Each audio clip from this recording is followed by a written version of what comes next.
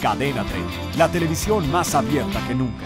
Después de las derrotas en los dos clásicos, el América ya se prepara para recibir a Monterrey, quien cuenta con una de las mejores ofensivas del presente torneo, por lo que para jugadores como Osmar Mares y Osvaldo Martínez es importante resarcir los daños y no dejar ir los tres puntos que les podrían costar el primer lugar de la tabla general.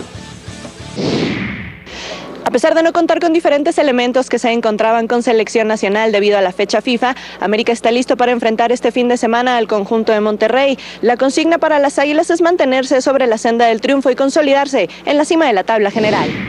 En esta institución estás obligado a salir a ganar cada fin de semana y lo, lo queremos cerrar bien el torneo.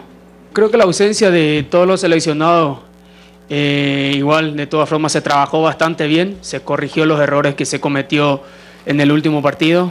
Eh, obviamente estamos, estamos en la espera de que lleguen algunos que, que, están con sus selecciones y ya obviamente después el equipo está completo, ¿no? Y yo creo que Monterrey viene con una muy buena racha, pero eh, creo que somos locales.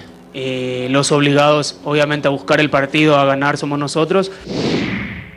Conscientes de que enfrentan a una de las mejores ofensivas del campeonato que cuenta con el actual líder de goleo Dorlan Pavón, no puede haber errores en la saga. Sin embargo, hay confianza en que lograrán los tres puntos en casa y que un descalabro como el sufrido ante Cruz Azul no se repetirá. Su potencial eh, ofensivo creo que, son muy fuertes arriba, pero también nosotros sabemos que somos un gran rival y que estaremos jugando al tú por tú, que también tenemos un potencial ofensivo y que estaremos siempre al pendiente de ellos, ¿no?